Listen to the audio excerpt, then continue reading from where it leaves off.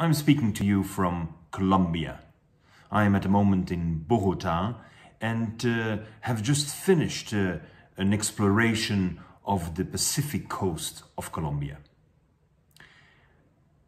When we talk about management, we need to reflect about how we are going to change the way we take care of our supply chain, of our ways and means of securing raw materials transformed into final products and what to do with all the waste streams, the energy consumption, the packaging.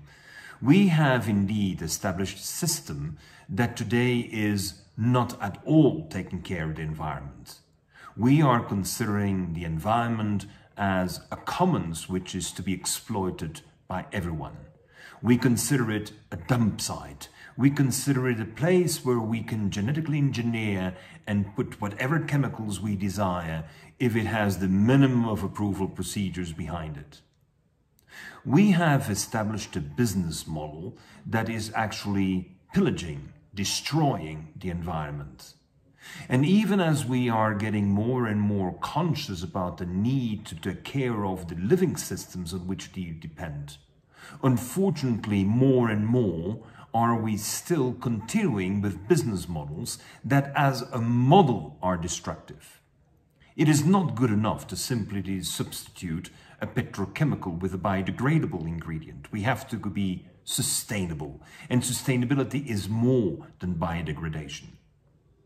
That new approach requires a new competitive framework. A framework whereby our priority is not efficiency, is not being the cheapest, is not being the most competitive because you dominate the market and you have an impact on your distribution system that permits you through financing to have the leverages that excludes others access to the market. What we're in need of is a system whereby we are offering in the first place value to everyone. The search for efficiency in management has to be complemented in the first place by the search for more value and value with what we have. Second, business cannot merely be about efficiency and value. We have to have a third element which is critical if we want to have a sustainable environment, and that is resilience. Efficiency, value, and resilience. As we have learned in the past uh, 12 months, if there is no resilience, we come to lockdowns. If we have lockdowns, we have destructions of economic systems. And especially the entrepreneur, the small and medium-sized enterprise, will not have the ways and means to overcome political decisions that are inspired by panic and not inspired by real needs of our communities to be able to respond to what they have as a challenge. The challenge we have is that half of the world is under-consuming and the other half of the world is over-consuming. But both halves, both the under-consuming and the over-consuming, are still expecting the earth to produce more. We need to have a business model whereby we are doing much more with what the earth is already producing. And let me come back to a very simple example that I'm working here in Colombia. Coffee. When you have a cup of coffee, unfortunately, very few people realize that what you are ingesting as a coffee is the soluble component of a bean, which is only 0.2% of the biomass of the coffee cherry. Coffee cherries were traditionally farmed under the canopy of a forest. They are not monocultures in the sun.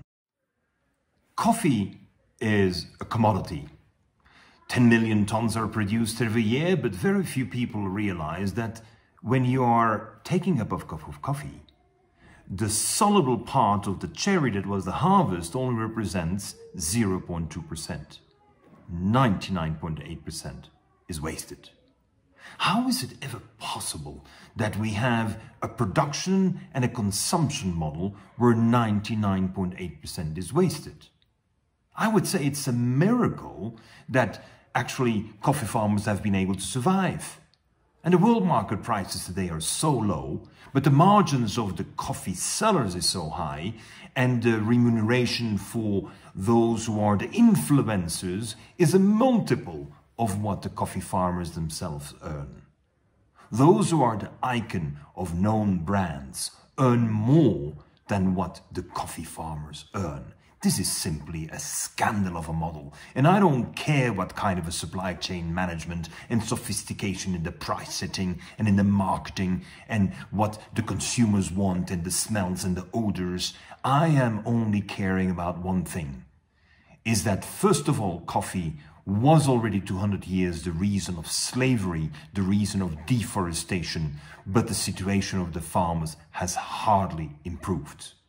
Today, the regions where coffee is being farmed are regions in underdevelopment, regions with malnutrition, because we were so obsessed with always producing more coffee with genetics and chemistry that we wanted to increase the output per hectare so that the farmers, when the prices are rock bottom low like today, have nothing else to earn and nothing to eat.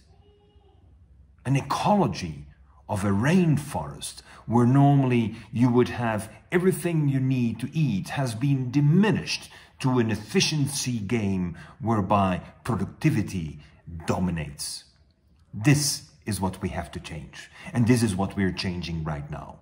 We are turning coffee back into agroforestry, where we are not only taking the harvest for the bean, but we're taking the whole coffee cherry as a nutrition.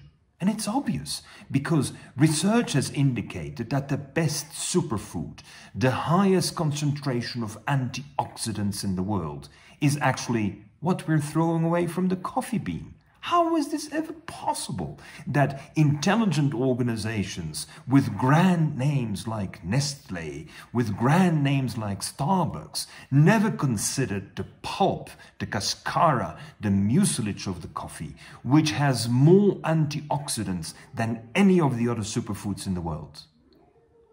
I'm bringing out a new book called Coffee Solutions. And in the book Coffee Solutions, we demonstrate that the superfood that is thrown away today generates a multiple of the revenues of what coffee is generating today, only using the bean.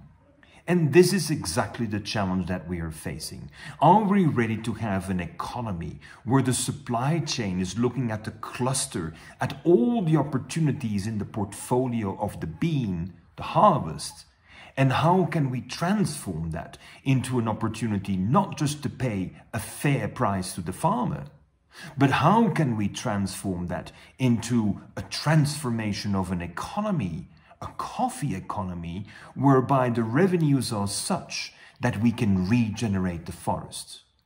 Today, we can accept an efficiency of barely 750 kilograms per hectare instead of the 5 tons with the chemistry and the genetics. But the 750 kilograms of coffee, we will use the whole harvest and we generate 10 times more value. That means on the whole, we're doubling the revenue. And the revenue that is being doubled is partially being used to regenerate the forests so that we not only have the coffee, but inside that forest, in the right regions, we could also have the cacao. And the end result is a new product a product that is full of antioxidants, that of course has a good doses of caffeine, that is not only good for your health, it is good for the farmer, but it is good for regenerate forests. Ladies and gentlemen, management for sustainability requires a change in business models. That means we need to stop thinking as core business with a core competence we need to look at the ecosystem and identify all the opportunities and then proceed with design of the products whereby we deliberately increase the revenues generated at the farm.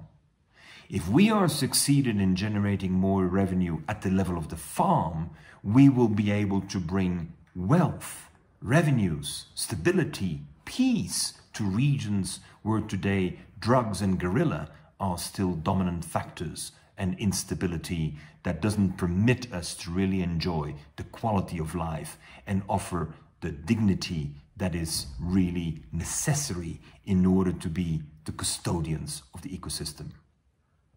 I hope that several of you will have a keen interest, study coffee solutions, study the opportunities that we have, and make that into your platform for imagining your businesses, your opportunities, so that you can become also the entrepreneurs for the common good.